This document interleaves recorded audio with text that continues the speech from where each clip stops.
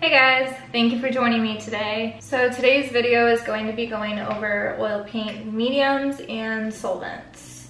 And I have quite a range of these to discuss. So I'm gonna be trying to do it in the most simplified manner that I can. So whether or not you're familiar with oil paint mediums, hopefully by the end of this video, you will gain some value from it. We'll be discussing what they're used for and also how to do so safely and properly because in my book, that's the most important thing. I wanna make sure that we're all being safe when it comes to using these materials. From my experience, oil paint mediums seem to be the one thing that really turns people off from ever wanting to even try oil painting. And I understand it. Um, even myself, when I began experimenting with oil painting, I was a little bit hesitant to start using different mediums after seeing the health hazards on these bottles. It can be a little bit scary if you don't know what you're doing, so I get it. I'm hoping that after this video, it's not gonna be so intimidating for you guys because honestly, mediums are great. And when you learn to use these mediums as intended, you really broaden the opportunities and different effects that you can achieve with them that will really enhance your artwork. So to start, let me explain what solvents and mediums are. Solvents come in many different names. If you've heard of turpentine, Turpenoid, terps, um, EcoSolve, spike oil, mineral spirits, Gamsol. I mean, honestly, the list really does go on, but those are all examples of solvents. So solvents are basically used in the same way that you would use water for different art mediums like acrylics and watercolor.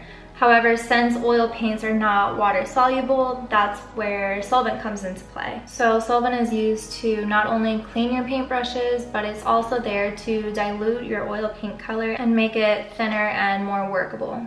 Now mediums on the other hand are basically here just to enhance your overall experience with oil painting. They are substances that when added to your oil paint will change the property in some way or another. So mediums can be used to change the flow of your oil paint, make your layers transparent so they're sort of see-through for glazing. They affect the drying time of your paints by either speeding it up or slowing it down. And they can add to the body of your oil paints by creating more texture. So you can get really thick and impasto textures or you can get um, more of like an enamel-like surface or a glossier surface. It can really do a lot of stuff. It's cool. So I'll be touching on just some of the oil paint mediums that I currently have and are using because if I went over every single one of them, this video could honestly go on all day and I don't think anyone has time for that. but before we get into these mediums and the different ways in which they can be used, there is one rule that we must follow to ensure our success in the studio when it comes to oil painting. And that is the fat over lean rule. So to put this simply, most oil paintings are produced in layers. And the first layer is a basic outline or underpainting using mostly your solvent and a little bit of paint. Um, if you want to see a more in-depth video that goes into explaining underpainting, I just made a video on that and I will make sure to leave it at the end of this one so you can click over and watch that. Okay, so following that, you go into your blocking in phase. I like to call it the blocking in layer. In this layer, the artist will block in the main areas with various base colors. And this is traditionally the second layer that gets put down when you're oil painting. And then following that layer will be your more detailed layers and that can range from, you know, three to however many layers that you wanna add, honestly, depending on how detailed your painting is. So because your leanest layer of paint is going to dry faster than the rest of them, this is the layer that needs to get put down first. And then your fatter layers, which are more oily and have more medium in them, go on top of that thinner layer. The reason for this is that the lean layer, which has solvent and paint but very little oil content, will not only dry much faster than the layers that have more oil present, but it will also be less flexible and more prone to cracking. So this basically means that you must start with a very thin, lean layer of paint. And with each layer that follows, you're going to add more of your medium and a little bit less of your solvent to create those fatter layers. which in a sense is basically just the layers with more oil paint, more oil content in it that makes it an oilier, fattier layer. Because if you were to lay down a thick, really oily layer on the bottom, and then go in with a very thin, lean layer of paint on top. The thin layer is going to dry first while the bottom layer is still curing and drying, which is going to cause your paints to crack which is obviously something that we want to avoid, right? So now that you understand the basic rule of working thin to thick, let's go ahead and get into the different mediums and how they can be used. And keep in mind that all of these mediums that I'm about to discuss are compatible with one another, so you can mix and match them around, basically. And anytime I use these mediums, I like to use it in conjunction with my solvent as well, like Gamsol or Spike Oil. This one seems to be the one that I am reaching for most these days. I just love the lavender scent that it puts off. Um, but the reason for that is to add more fluidity to your mixture.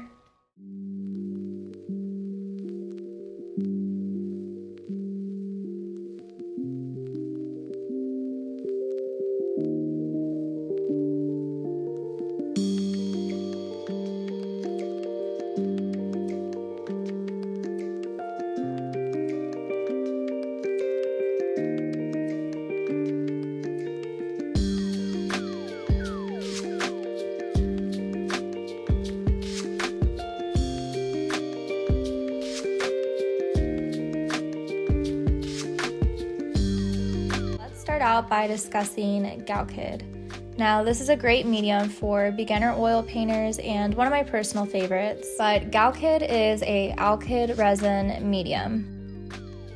It's a high viscosity fluid medium with the consistency of a thicker fluid that increases the flow of the oil paint straight out of the tube.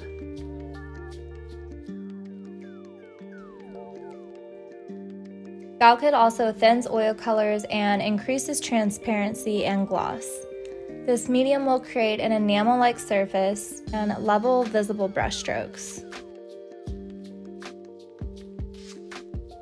Another huge benefit to Galkyd is that it's one of Gamblin's fastest drying oil paint mediums. And this can be great for a lot of artists because oil paints do take a bit longer to dry, However, that's something that I value in oil paint, so it really just depends on how you like to work. So when I'm working with Galkyd, I prefer to add 10 to 20% stand oil with this mixture along with the solvent, but you don't have to do that. You can just use the Galkyd itself with the solvent and you'll have a great little mixture there for painting.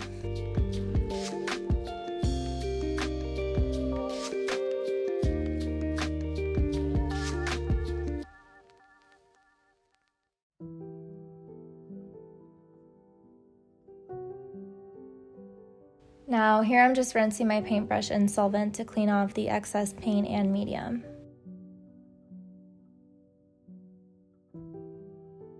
Next we have Galkyd Gel. Now I like to use this medium sparingly or mix it with equal amounts of Gamsol to create a traditional slow drying, low viscosity painting medium. Galkyd Gel is a stiffer gel compared to Neo Megilp that hold thicker, sharper brush marks and dries more quickly. Galkyd gel increases transparency of oil colors and creates an impasto texture.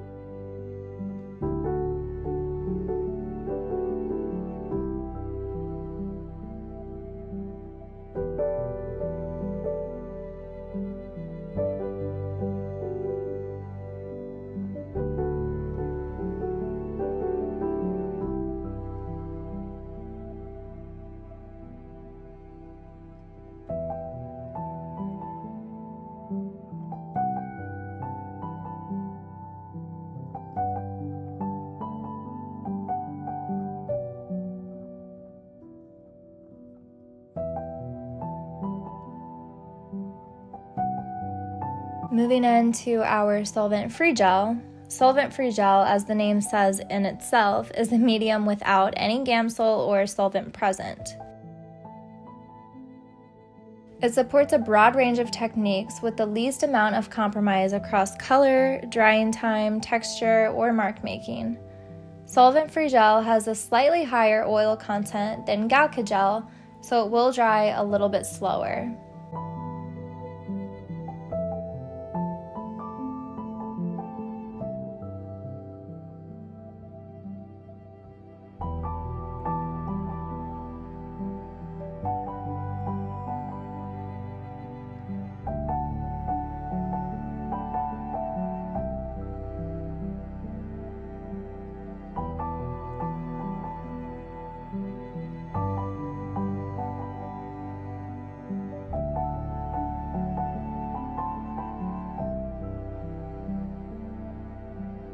Now on to solvent-free fluid.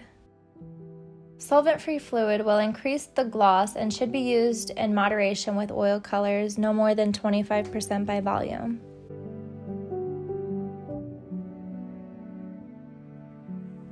In regards to its drying time, it's a moderately fast drying medium, meaning that thin layers will dry to the touch in approximately 36 to 48 hours. And this medium is also non toxic, so big plus there.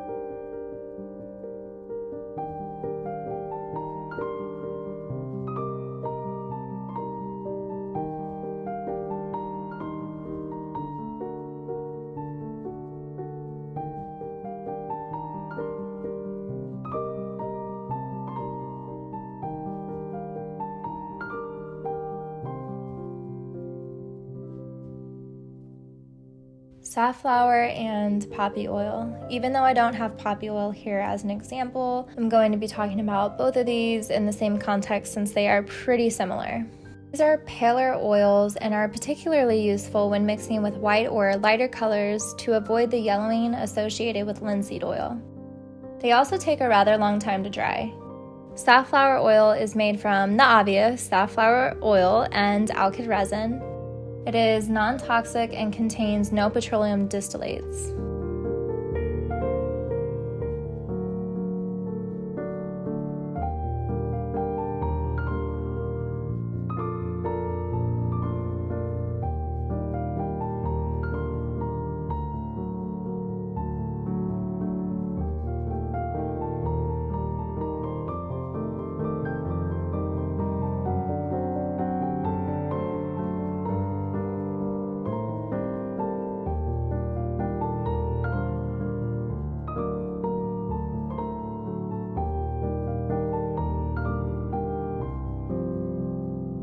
Now, stand oil is a thicker oil, almost resembling the consistency of honey. Stand oil is thicker than linseed oil, and it creates a tough paint film without the yellowing tendencies of refined linseed oil. Stand oil causes oil colors to flow out as they dry, minimizing brushstrokes. It is an excellent painting and glazing medium and can be thinned with Turpenoid or whichever solvent that you are working with.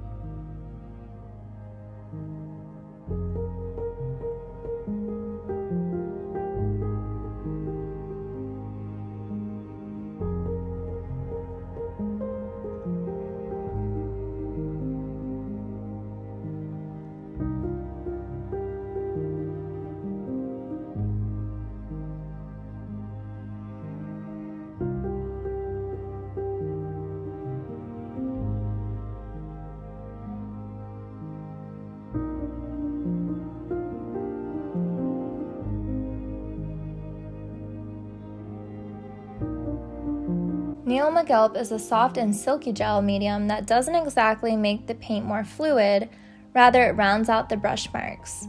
It is a perfect medium for thicker, transparent glazes.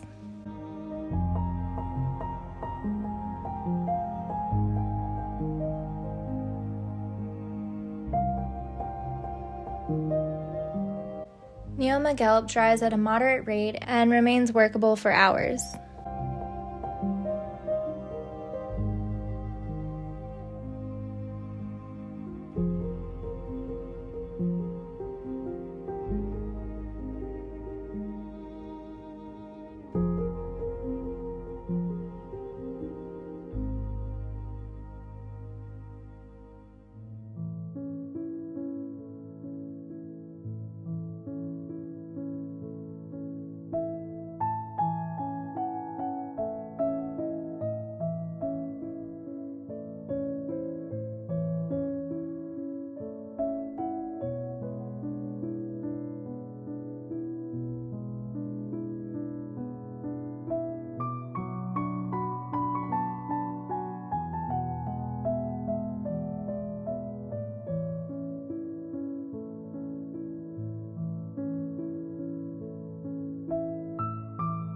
Linseed oil is one of the most well known oil paint mediums.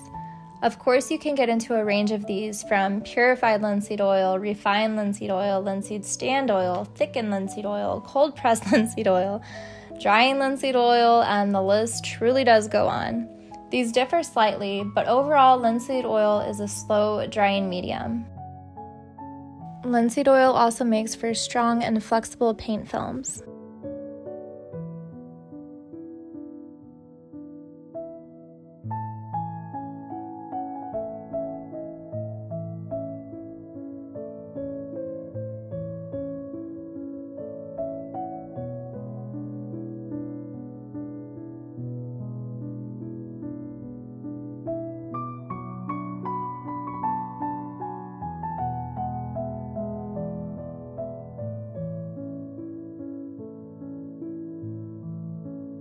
Walnut oil is another oil paint medium that is less likely to yellow as it dries. It also dries quicker than safflower and poppy oil, which is a big advantage for some painters. When walnut oil, along with many nut based oils, are exposed to the air, it starts the drying process. So it is best to store these oils in a fridge or in a shaded area with the lid sealed tight.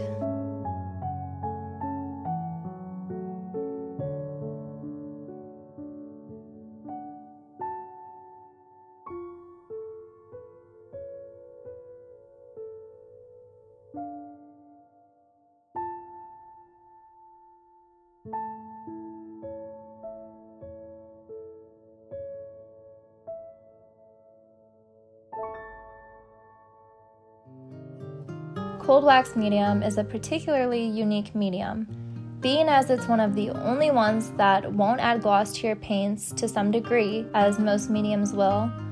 Cold wax is made from naturally unbleached beeswax mixed with Gamsol to create a thick paste consistency. It sort of reminds me of the consistency of coconut oil when it's hard. This medium will make your paints thicker and more matted, and it is very popular amongst abstract painters looking to add more texture and a contemporary matte finish to their artwork. Now, I also just want to mention a few other little mediums that I don't have here on hand, but I figured it would be good to include real quick. Liquin, along with most alkyd mediums, will speed up the drying time. Used as an extender for oil and alkyd paint, they give a translucent effect. This means they also make for really nice glazes. They also provide bulk for the paint. They dry to a cracked resistant, flexible, tough, and virtually non yellowing film that can be varnished in a normal way.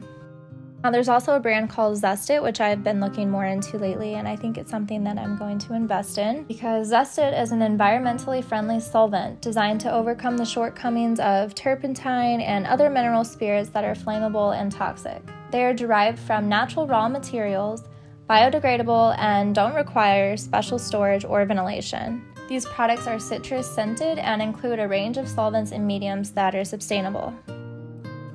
So I really hope this video helped you guys to better understand oil paint mediums and the ways in which they can be used. Please try not to be intimidated or scared of experimenting with mediums. They are so much fun to work with and honestly provide you with endless possibilities of ways to work with your oil paints.